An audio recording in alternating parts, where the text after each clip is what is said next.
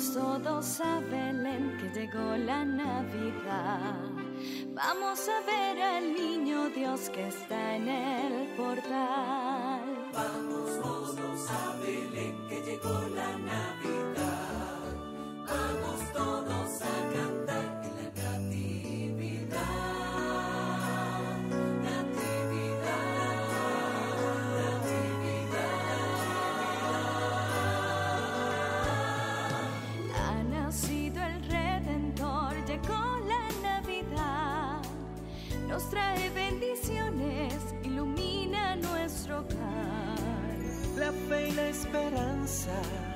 en ti renacerá.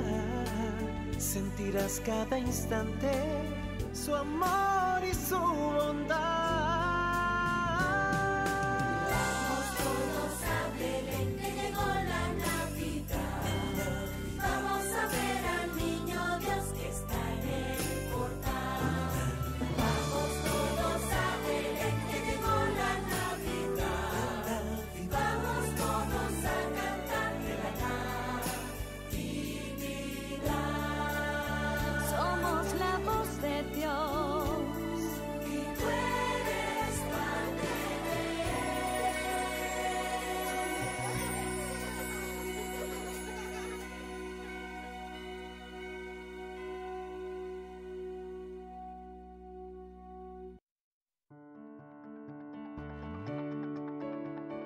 La Eucaristía es la fuente y culmen de toda vida cristiana.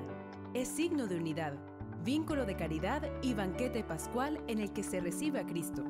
El alma se llena de gracia y se nos da la prenda de la vida eterna. A partir de este momento, escucharás la celebración de la Santa Eucaristía desde la Casa de Oración Virgen María de Jerusalén.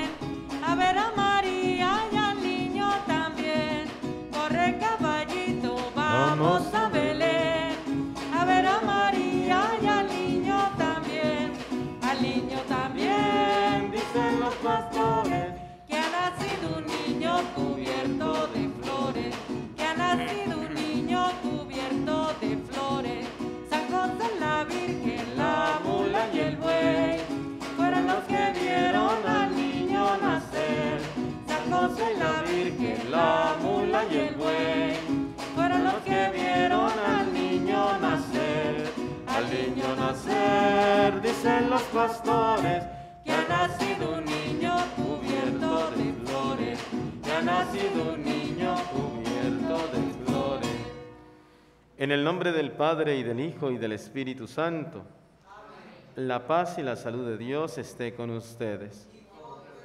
Quiero ofrecer esta misa dando gracias a Dios por la consagración de los santos óleos, la renovación de las promesas de los sacerdotes hoy en el Seminario Santo Tomás de Aquino y también por el aniversario matrimonial de Óscar Ruiz y Glenda Buitrago. Pedimos perdón de nuestros pecados cantando El Señor ten piedad.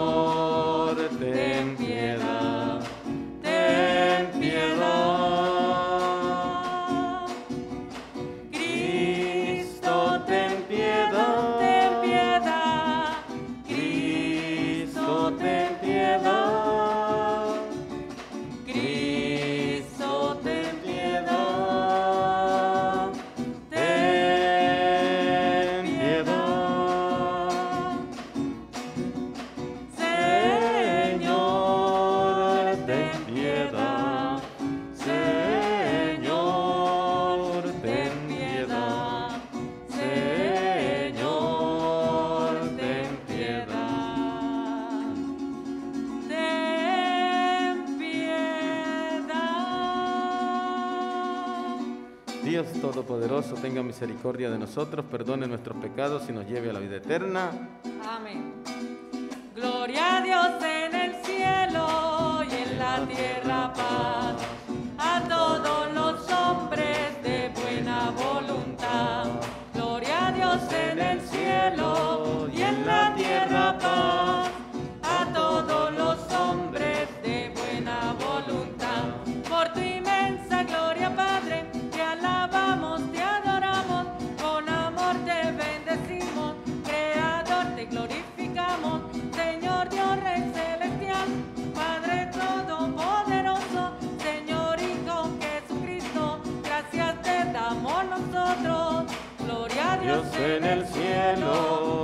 God will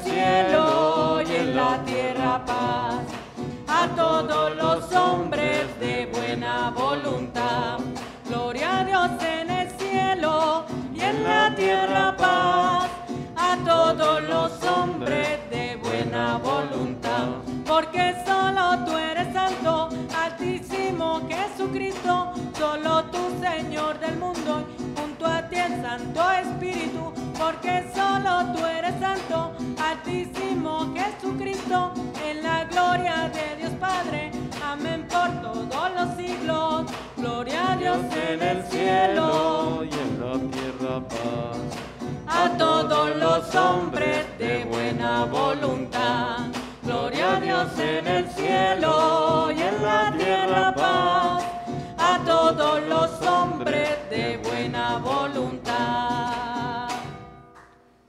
Oremos. Concédenos, Dios Todopoderoso, que el nacimiento de tu Hijo en nuestra carne mortal nos libre de la antigua esclavitud a la que nos sometió el pecado. Por Jesucristo nuestro Señor.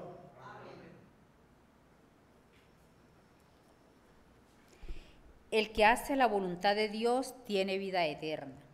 Lectura de la primera carta del apóstol San Juan. Les escribo a ustedes, hijitos, porque han sido perdonados sus pecados en el nombre de Jesús. Les escribo a ustedes, padres, porque conocen al que existe desde el principio. Les escribo a ustedes, jóvenes, porque han vencido al demonio. Les he escrito a ustedes, hijitos, porque conocen al Padre. Les he escrito a ustedes, padres, porque conocen al que existe desde el principio. Les he escrito a ustedes, jóvenes, porque son fuertes y la palabra de Dios permanece en ustedes y han vencido al demonio. No amen al mundo ni lo que hay en él. Si alguno ama al mundo, el amor del Padre no está en él, porque todo lo que hay en el mundo, las pasiones desordenadas del hombre, las curiosidades malsanas y la arrogancia del dinero no vienen del Padre, sino del mundo. El mundo pasa y sus pasiones desordenadas también, pero el que hace la voluntad de Dios tiene vida eterna. Palabra de Dios.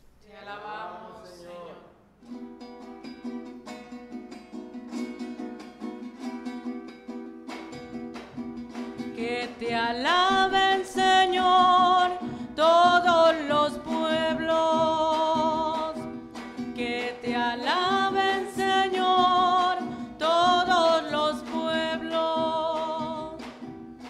Alaben al Señor, pueblos del orbe, reconozcan su gloria y su poder, y tribútenle honores a su nombre. Que te alaben, Señor, todos los pueblos. Ofrézcanle en sus atrios sacrificios, caigamos en un templo de rodillas, tiemblen ante el Señor los atrevidos. Que te alaben, Señor, todos los pueblos. Reina el Señor, digamos a los pueblos. Él afianzó con su poder el orbe, gobierna a las naciones con justicia. Que te alaben, Señor, todos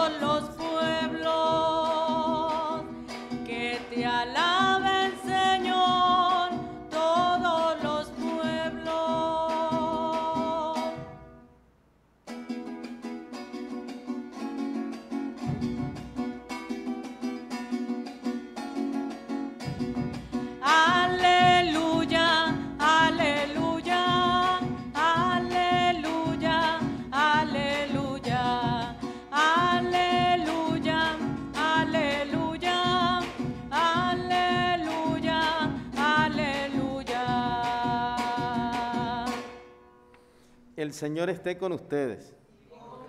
Lectura del Santo Evangelio según San Lucas.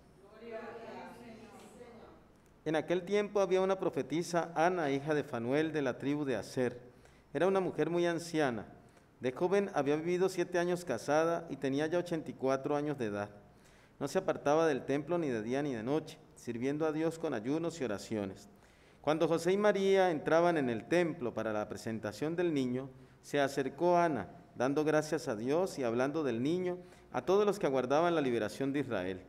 Una vez que José y María cumplieron todo lo que prescribía la ley, se volvieron a Galilea, a su ciudad de Nazaret.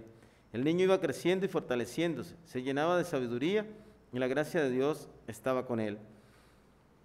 Palabra del Señor. Por el Santo Evangelio sean perdonados nuestros pecados. Estamos a la víspera de Año Nuevo. Y en estos tiempos tan difíciles, pues los buenos propósitos de este año van en torno a la unión con Dios, a la unión con Dios. Y fíjense que esta lectura tan bella, que ojalá la repasen ustedes en casa, de la carta del apóstol San Juan, la primera carta, capítulo 2, del 12 al 17, nos habla de lo que debemos hacer nosotros. Dice, no amen al mundo ni lo que hay en él. Si alguno ama al mundo, el amor del Padre no está en él, porque todo lo que hay en el mundo, las pasiones desordenadas, las curiosidades malsanas, la arrogancia, el dinero, no viene del Padre, sino del mundo.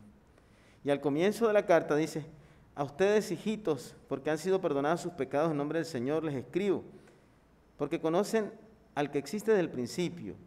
Les he escrito porque conocen al Padre. Les he escrito porque conocen al que existe desde el principio. Es decir, cuando nosotros vemos tan cerca que está la muerte, tenemos que apurarnos a conocer a la vida. Y Cristo es la vida.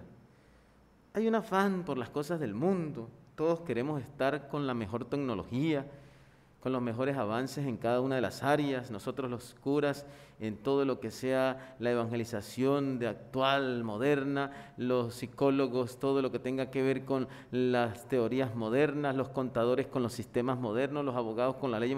Todos queremos conocer las cosas de este mundo apresuradamente, pero resulta que muchas de las cosas de este mundo, la técnica, no nos sirve para nada a la otra vida, porque Nada de lo técnico sirve para irnos a la vida eterna. En cambio, el conocimiento del Señor, el conocimiento del Señor, el que conoce, como dice aquí San Juan, porque conocen al que existe, porque conocen el principio, porque conocen al Padre, porque conocen al Hijo.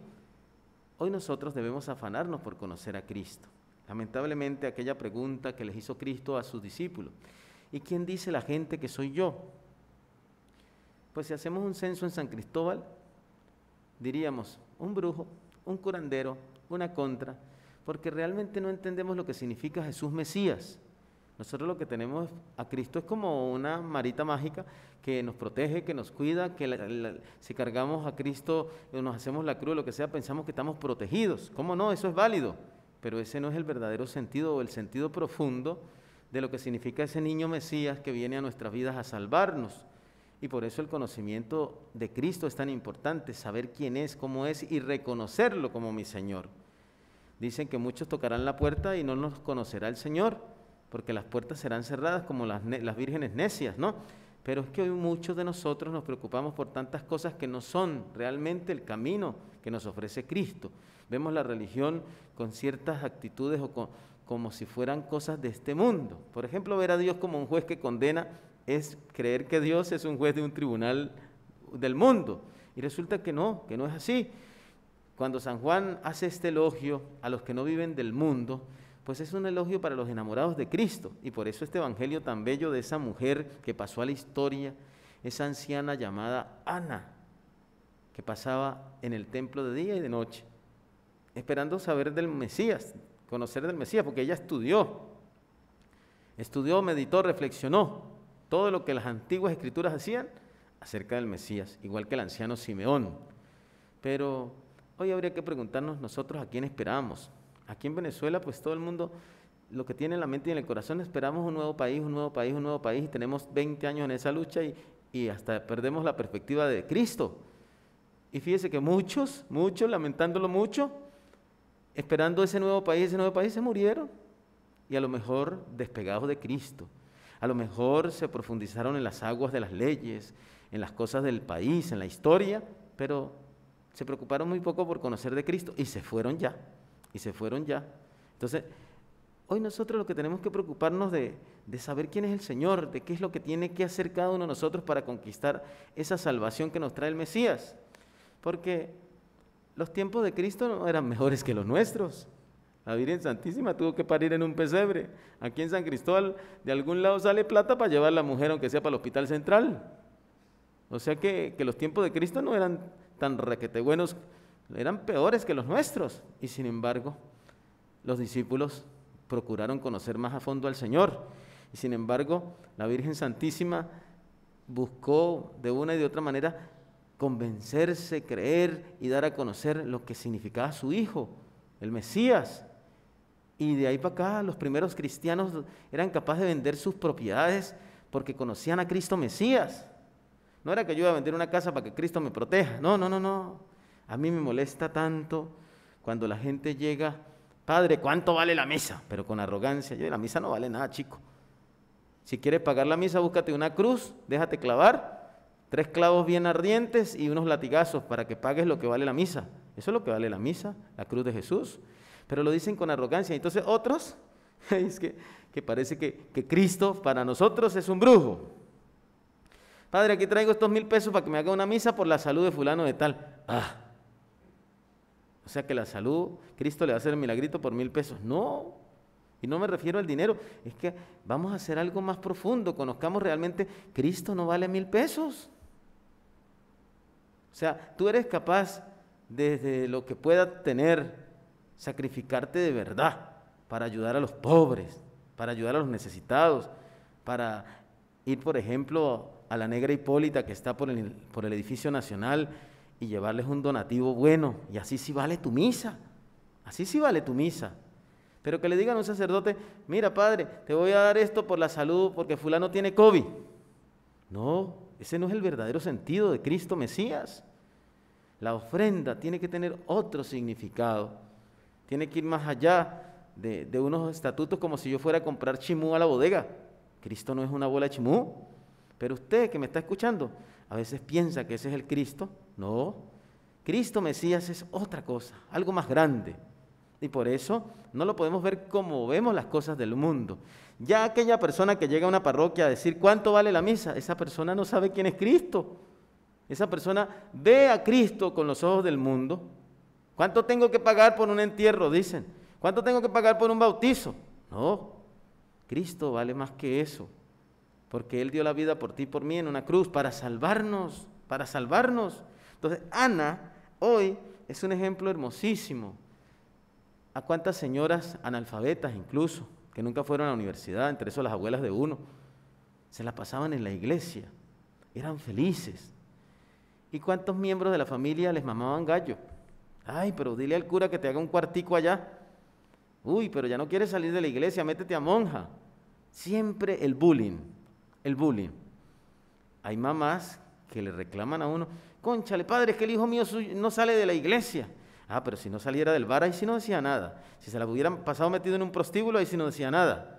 Y es que me ha pasado a mí en mis 15 años de sacerdote, mamás que se ponen bravas porque el hijo está en el grupo juvenil, porque el hijo está en un movimiento de la iglesia. Ah, pero cuando los tienen allá con las malas juntas y eso, ahí sí no se enojan como que quieren ver que los hijos se pierdan en el mundo. Pues eso es lo que nos dice hoy estas lecturas en la octava de Navidad, que a veces preferimos las cosas del mundo y vemos a Cristo con los ojos del mundo y no con los ojos de la fe.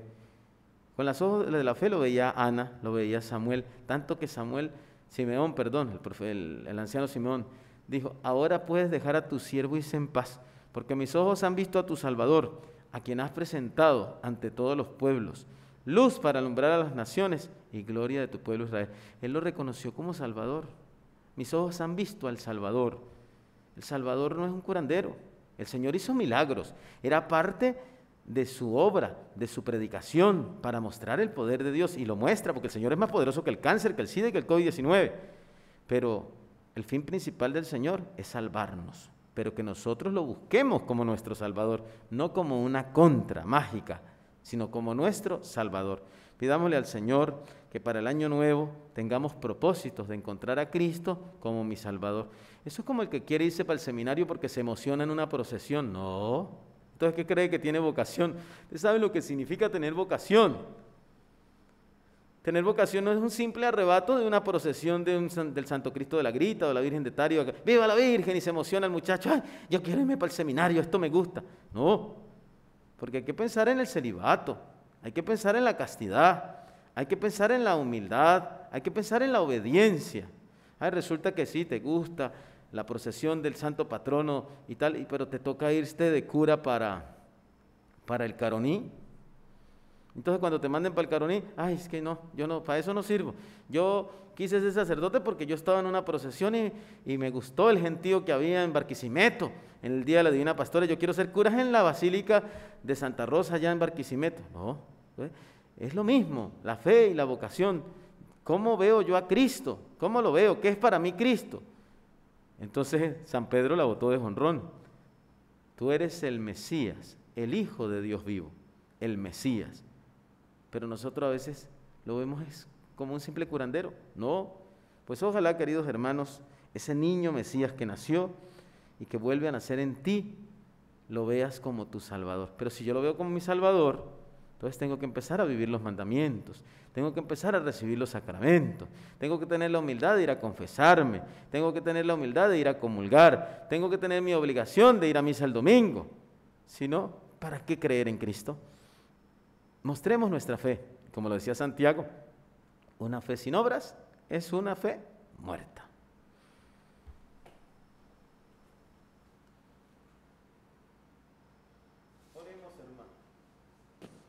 Oremos, hermanos, por el Santo Padre, el Papa Francisco, por los obispos y los sacerdotes, roguemos al Señor. Por las intenciones de todos los que nos escuchan por Radio Natividad, Instagram, Facebook, YouTube, roguemos al Señor. Por el aniversario de bodas de Oscar Ruiz y Glenda Huitrago de Ruiz, por Jocelyn Mora de Porras y Gustavo Porras, roguemos al Señor. Por los fieles difuntos, en especial Monseñor Marco Tulio Ramírez Roa, Monseñor Nelson Arellano Roa, Monseñor Raúl Méndez Moncada, Padre Raimundo Pernía, Monseñor Egar Roa, Monseñor Horacio Rosales, roguemos al Señor. Por el Padre Stephen Harney, por Alfonso Silva, por Rómulo Bonifacio Mora Salas, Félix Gutiérrez Malgarejo, Luis Peña, Martín Sierra, Eduardo Collazo, Pablo Herrera, Joel Escalante Rosales, Rosalina Rosales Pérez, Froilán Escalante Castro, José Agustín Buitrago, Teófilo Borrero Buitrago, Elsa Margarita Escalante, el Padre José Gregorio Melo Sánchez, roguemos al Señor. Por la salud del Padre Esteban, por la salud del Padre Luis Villota, por la salud del Padre Gaso, por la salud del Padre Dominico que está enfermo, roguemos al Señor por la salud de Petra María Molina, viuda de Guerrero, por la salud de Eduardo Niño, por la salud de David Colmenares, por la salud de Seila Estela Rosales, roguemos al Señor. Le pedimos al Señor que nosotros cada día busquemos conocerle más, estudiando su palabra, escrutando su palabra y escuchando a los pastores de la iglesia, roguemos al Señor. Esta es la última misa de este año 2020 que hago yo por Radio Natividad. Vamos a pedirle al Señor que nos dé ese aumento en la fe, ese crecimiento en la fe. Yo siempre le pido que me ayude a crecer en la fe para creer y amar lo que no entiendo, los misterios de la fe. También pedirle al Señor que tengamos salud para seguir el año próximo predicando, anunciando el Evangelio, la buena noticia por Radio Natividad. Roguemos al Señor. Atiende, Padre, las súplicas que te dirigimos a ti que vives y reinas por los siglos de los siglos. Señor, danos sacerdotes santos. Señor, danos religiosas santas. Señor, danos familias santas. Señor, danos niños y jóvenes santos. Señor, aumenta mi fe. El Padre presenta el pan y el vino, ustedes ofrezcan su propia vida.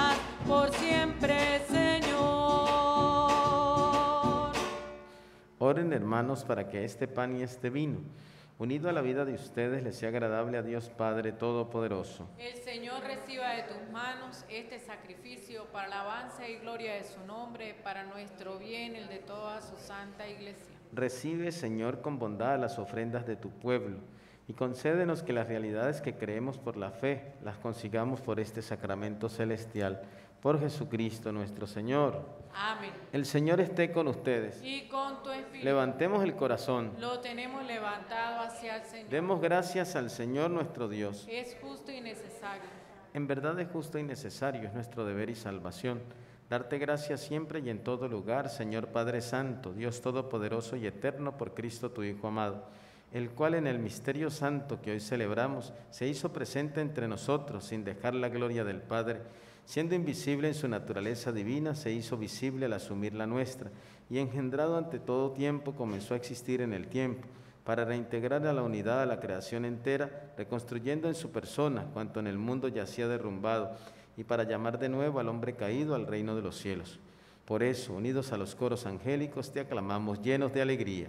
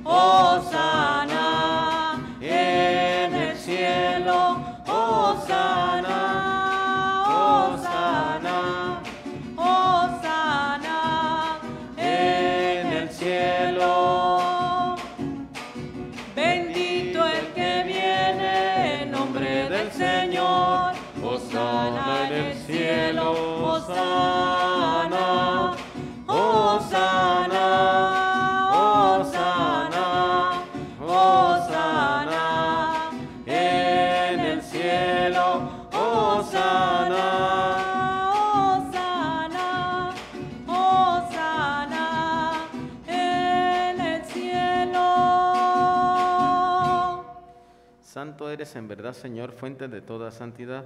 Por eso te pedimos que santifiques estos dones con la efusión de tu Espíritu, de manera que se conviertan para nosotros en el cuerpo y la sangre de Jesucristo, Hijo tuyo y Señor nuestro, el cual cuando iba a ser entregado a su pasión voluntariamente aceptada, tomó pan.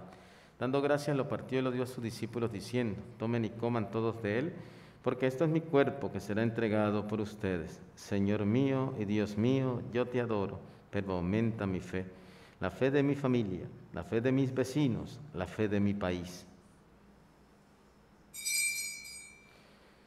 Del mismo modo, acabada la cena, tomó el cáliz. Dando gracias de nuevo, lo pasó a sus discípulos diciendo, tomen y beban todos de él, porque este es el cáliz de mi sangre, sangre de la alianza nueva y eterna, que será derramada por ustedes y por muchos para el perdón de los pecados.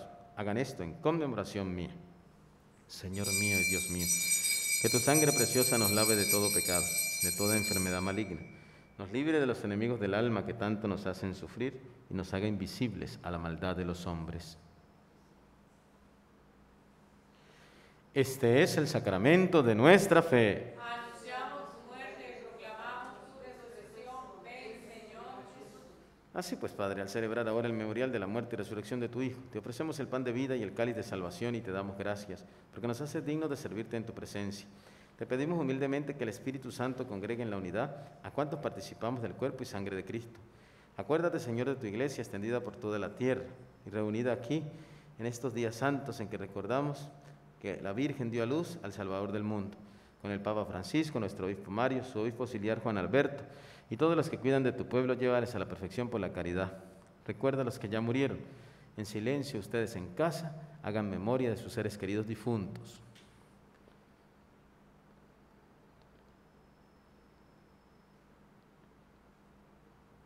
Admíteles a contemplar la luz de tu rostro. Ten misericordia de todos nosotros, y así con Santa María la Virgen Madre de Dios, San José, los apóstoles, los protectores contra las epidemias, San Roque y Santa Rosalía de Palermo, merezcamos por tu Hijo Jesucristo compartir la vida eterna y cantar tus alabanzas. Por Cristo, con Él y en Él, a ti Dios Padre Omnipotente, en la unidad del Espíritu Santo, todo honor y toda gloria, por los siglos de los siglos. Agradecidos con el Dios de la vida, digamos todos, Padre nuestro que estás en el cielo, santificado sea tu nombre. Venga a nosotros tu reino, hágase tu voluntad en la tierra como en el cielo. Danos hoy nuestro pan de cada día. Perdona nuestras ofensas, como también nosotros perdonamos a los que nos ofenden. No nos dejes caer en la tentación y líbranos del mal. Líbranos, Señor, de todos los males de este COVID-19 tan terrible. Concédenos la paz en nuestros días para que, ayudados por tu amor y misericordia, vivamos siempre libres de pecado, protegidos de toda enfermedad y perturbación, mientras esperamos la gloriosa venida de nuestro Salvador Jesucristo. Tuyo es el reino, tuyo es el poder y la gloria por siempre, Señor. Señor Jesucristo, que estás aquí, que dijiste a los apóstoles, la paz les dejo, mi paz les doy.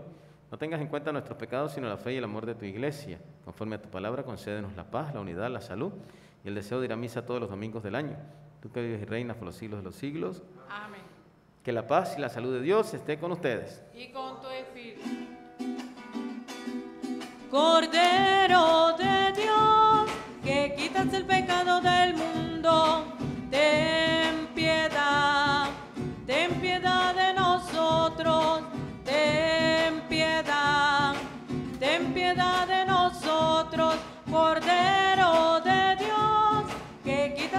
del mundo, ten piedad, ten piedad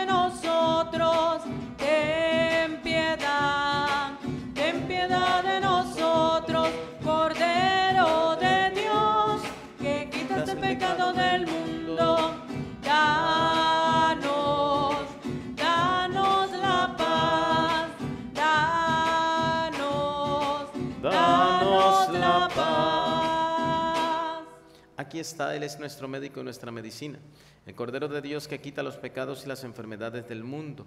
Dichosos ustedes convidados a esta santa misa.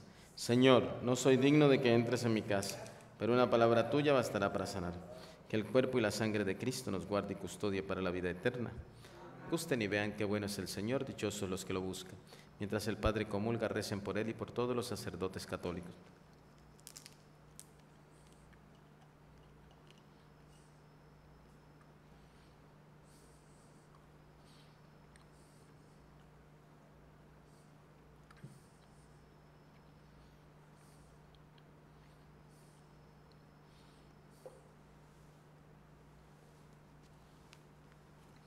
Digan en casa, Señor Jesús, no te puedo recibir en la hostia santa, pero te abro mi corazón y las puertas de mi casa, para que habites en mí, protejas a los míos, aumentes mi fe y me hagas buen cristiano.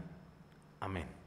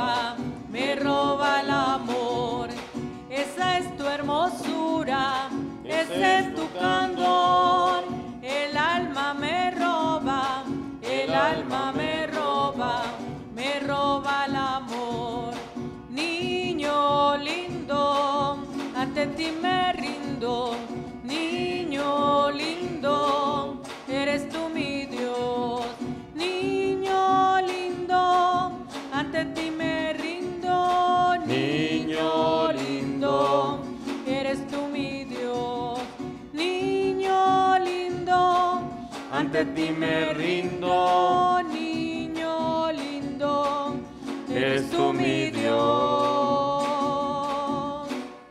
Decimos todos, gracias Señor, gracias. Gracias, Señor. Gracias. Gracias María, gracias. Gracias, María. Gracias. Oremos.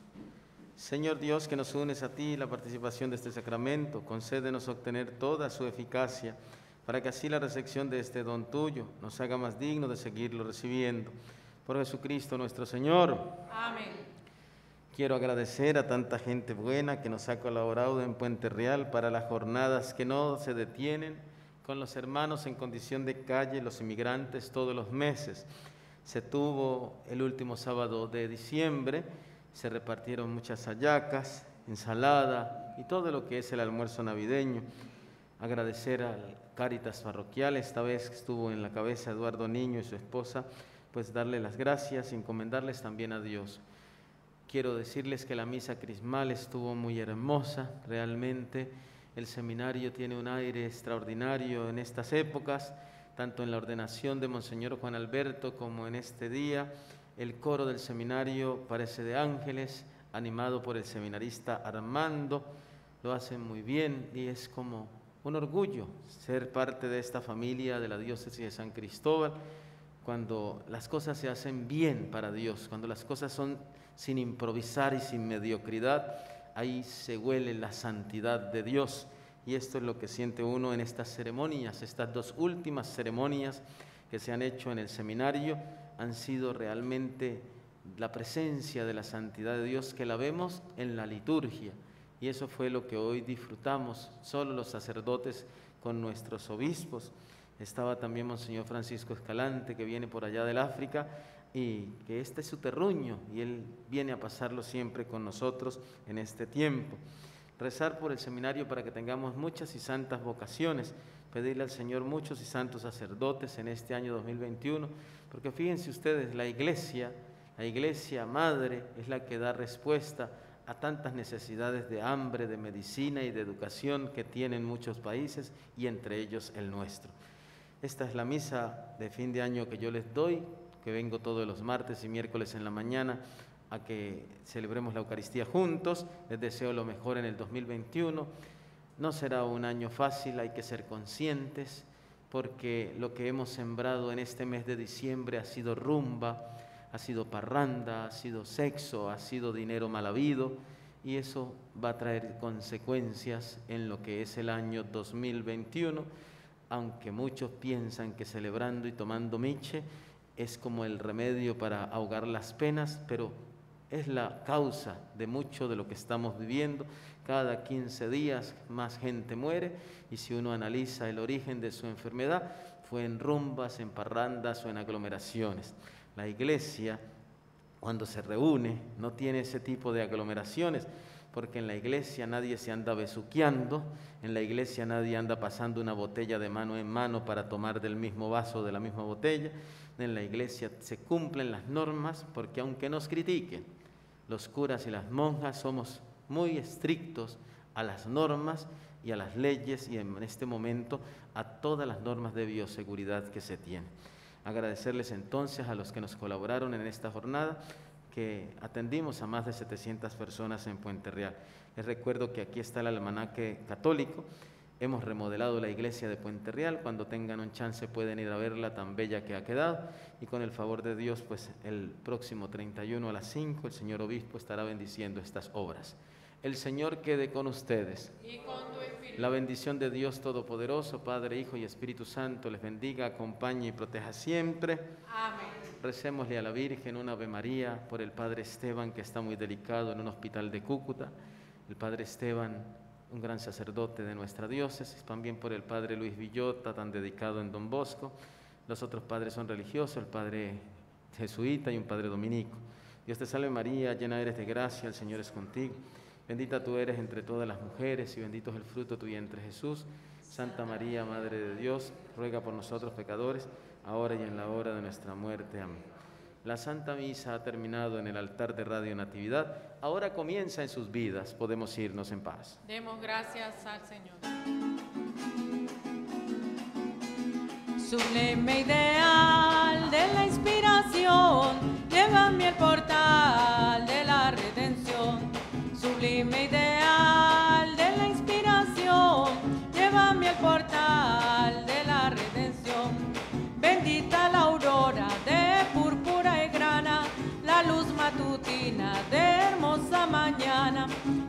calienta la aurora de púrpura y grana, la luz matutina de hermosa mañana, sublime ideal de la inspiración, llévame al portal de la redención, sublime ideal de la inspiración, llévame al portal de la redención. Bendita la hora. Gracias, Señor porque quisiste celebrar tu entrega en torno a una mesa con tus amigos, para que fuesen una comunidad de amor. Radio Natividad transmitió la celebración de la Santa Eucaristía desde la Casa de Oración Virgen María de Jerusalén.